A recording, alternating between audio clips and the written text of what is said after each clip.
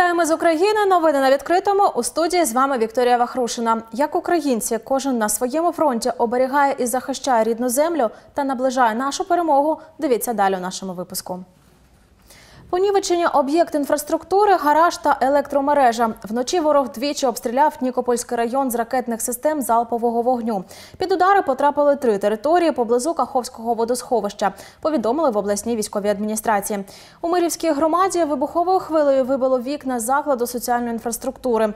На околиці Нікополя через влучання ворожих снарядів сталася пожежа на відкритій території. Рятувальники вогонь загасили.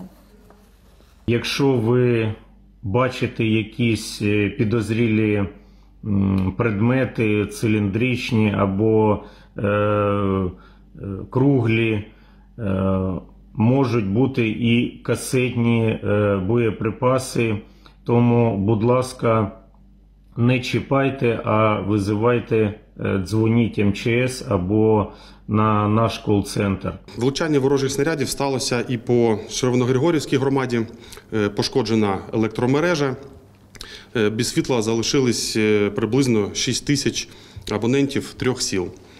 Е, На місці працюють ремонтні бригади, е, відновлюють електропостачання. Рятувальники обстежують територію. На щастя, люди через атаку агресора не постраждали. А наші військові збили вночі над Нікопольським районом одразу два безпілотника. Таким чином, в області з початку війни вже приземлили 12 ворожих розвідників. Завжди бути на поготові. Як відстежувати, чи є у вашому районі повітряна тривога, якщо ви не чуєте звукового сигналу? Центр протидії дезінформації при РНБО України опублікував перелік онлайн-карт сирен, де сповіщають про повітряну небезпеку. Їх створили українські розробники. Оновлюються карти кожні 15-20 секунд. Наразі працюють мапа сирен, де відображаються усі області. Її можна знайти за адресою vadimklimenko.com МЕП. Є також карта повітряних тривог war.ukrzen.in.ua.alerts. Мапа сирен за посиланням LRMAP онлайн. Крім того, українці можуть дізнаватися актуальну інформацію у додатку Повітряна тривога. Він доступний у Google Play та App Store. Хоче допомогти Україні знищувати рашистські подарунки, що залишаються на нашій землі. Майже три десятки іноземних компаній бажають приєднатися до розмінування українських територій. Про це повідомив в етері національного телемарафону директор департаменту ДСНС України Віктор Вітовецький. За його словами, вісім іноземних компаній вже отримали рекомендації від рятувальників, як долучитися до процесу гуманітарного розмінування в Україні. Ще 20 аналогічних структур на шляху до цього. Чергова знахідка патрона і його новий урок мінної безпеки. Цього разу чотирилапий сапер підготував корисну інформацію про протипіхотну міну. Зона її ураження до 200 метрів, а знайти її можна зазвичай у місцях, де базувались окупаційні війська. Вухань та його колега піротехнік ДСНС України Василь Хміль розповідають, як розпізнати вибухонебезпечний пристрій, що робити, якщо на нього натрапили. В ДСНС наголошують, у місцях, де йшли бойові дії, пересуватись треба дуже обережно. Обов'язково дивитись під ноги. А побачивши щось підозріле, не підходити і не чіпати, а одразу телефонувати 101. Нагадаємо, собака розміновувач патрон і ДСНС випустили декілька відео освітніх про вибухонебезпечні предмети. Це протипіхотна осколкова міна. Вона має прямокутну форму та пластмасовий корпус, але інколи буває ще округлою металевою. Такі міни можна зустріти в місцях, де війська базувались довгий час і вдавались до оборонних заходів. Вони встановлюються на поверхню землі, на різні елементи будівель, дерева, тобто можуть бути будь-де. Для цієї міни характерним є використання розтяжки, яка може бути у вигляді натягнутої нитки чи чогось подібного. Тож ні в якому разі не можна наближатись до неї. Зона її ураження від 50 до 200 метрів. Віддана служба нашого пса сапера не залишається непоміченою. Днями патрон отримав чергові відзнаки. Відразу дві ветеранські організації Сполучених Штатів Америки нагородили нашого вухатого рятувальника, вручили грамоту та бойову монету. Тож у ДСНС України жартують. Відтепер наш патрон може сміливо розраховувати на усі ветеранські привілеї у США. Ми поруч і хочемо допомогти знайти правильні слова у розмові з людиною, яка опинилася на тимчасово окупованих територіях, не завжди легко. Та підтримувати цих людей дуже важливо, кажуть у центрі національного спротиву. Бо ці люди, ризикуючи життям, стають до ворога обличчям та вимагають звільнити їхню землю. Це українці, які таємно саботують діяльність росіян та не дозволяють розгорнути роботу окупаційних адміністрацій. Саме тому центр нацспротиву запустив ініціативу Підтримай українців в окупації. Зробити це просто. Поширюй новини про спротив людей на тимчасово окупованих територіях. Пиши друзям та знайомим, які в окупації. Підтримуй їх морально. Розміщу публікації про окуповані міста в соцмережах з хештегом Міста героїв і став геолокації окупованих міст. Носи жовту стрічку. Це символ підтримки українців в окупації та наших військових. Фотографуйся із жовтою стрічкою та публікуй фото в соцмережах із закликом говорити про окуповані міста.